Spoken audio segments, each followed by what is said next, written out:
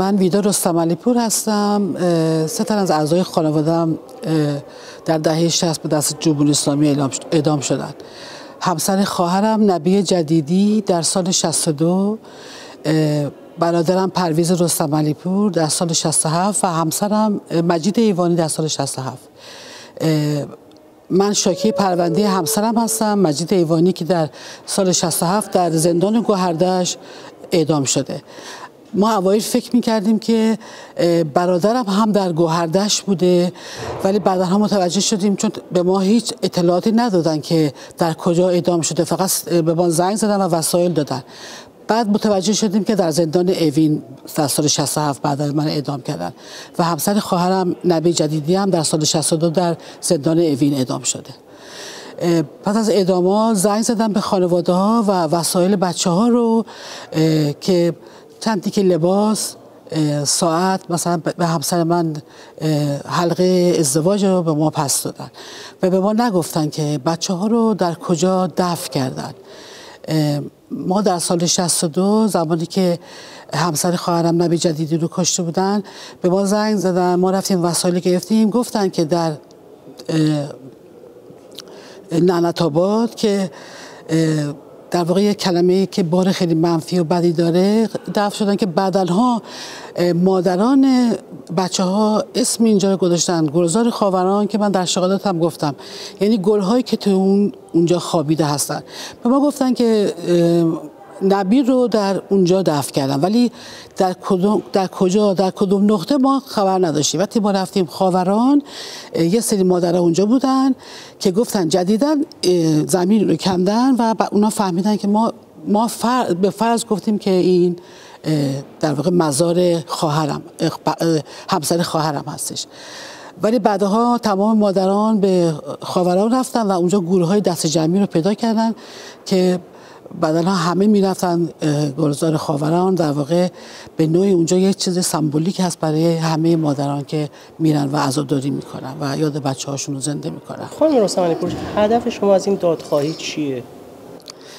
ببینید سالیان ساله که افراد خانواده ما رو کشتن تمام رفقایی که ما داشتیم دوستانی که داشتیم رو کشتن و در واقع به ما هیچ مدرکی که چرا به چه دلیل اینها رو کشتن رو نگفتن؟ فقط به دلیل که اینا دگراندیش بودن و به افکار به ایده های مختلف اعتقاد داشتن و برابری طلب بودن. در کشور ما انسان ها با هم برابر نیستن. اونهایی که توی ایران حکومت می‌کنن تمام وسایل امکانات ایران رو گرفتن و مردم در فقر زندگی می‌کنن. ما برای این تلاش می‌کردیم که زند... انسان ها زندگی بهتری داشته باشن. خانواده من رو کشتن بدون که به ما اصلا بگن که چرا کشتن. به برادر من حکم داده بودن حبس ابد. به همسرم 15 سال. ولی بدونی که به ما خبر بدن بدون که ملاقات داشته باشیم اونها رو کشتن و در گروه های دست جمعی گذاشتن. خب ما زندگی می‌کنیم ولی شما فکر کنین که اگه برادر من یا همسر من به مرگ طبیعی مرده بودن یا تصادف کرده بودن. خب ما قبول مرگ خب سخته ولی ما باور می‌کردیم.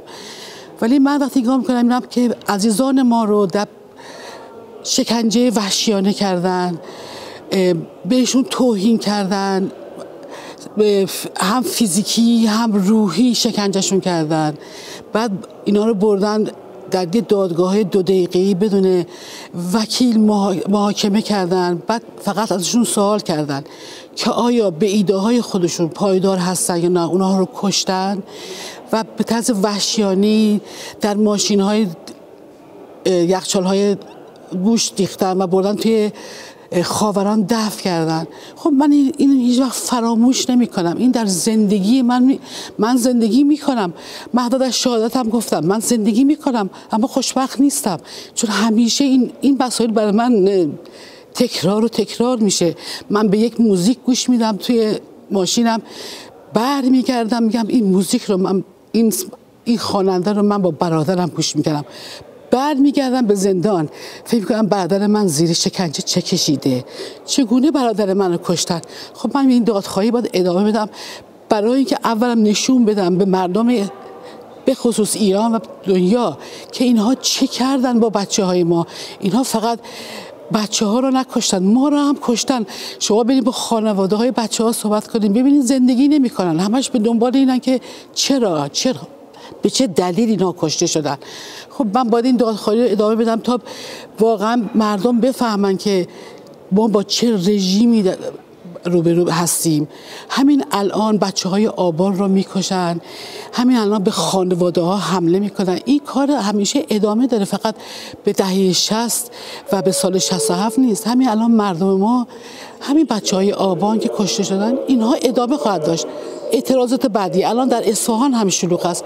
این این باید ما باید به این دادخواهی ادامه بدیم تا بتونیم رژیم رو به زانو در بیاریم.